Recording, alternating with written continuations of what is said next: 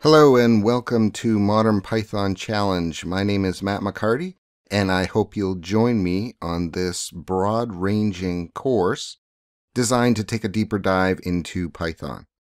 So I've been teaching graduate and undergraduate students for over 15 years in topics such as programming, statistics, management science, and I also have broad industry experience including projects in natural language processing and machine learning.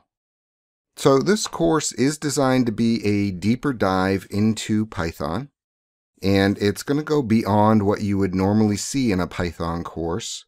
We're going to be touching on lots of little used libraries, both in the standard library and third-party packages.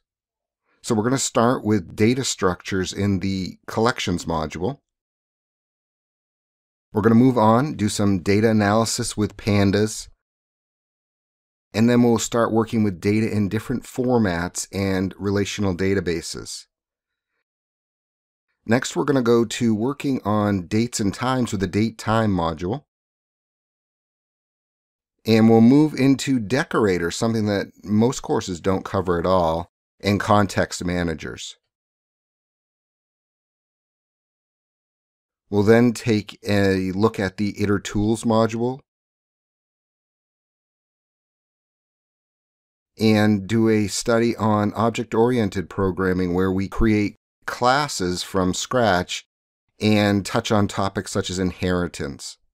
We'll then work with regular expressions, both with the Python regular expression module, and we'll see how to start creating regular expressions.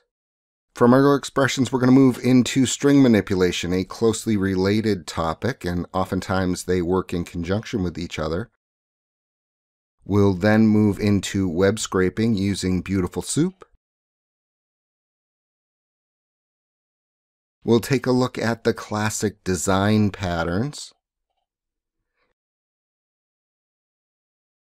And then we'll finish up touching on networking concepts with Python. Now, our goals are to take a deeper dive into Python, as I mentioned, beyond what you would get in a typical course.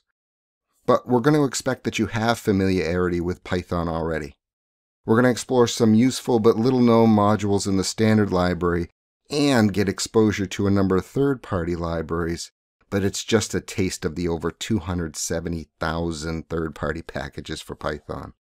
Now, as I mentioned, there is going to be some expected familiarity with Python, and, we're going to be using Python 3. And I'm expecting that you have installed the Anaconda platform. It's not absolutely necessary, but your screens will look a lot like mine if you're following along, if you have Anaconda installed. I am going to use a number of tools to interact with Python. So I'm going to start with the command line.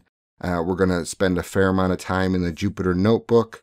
We're going to see Spyder, and I'm going to use Visual Studio Code as well.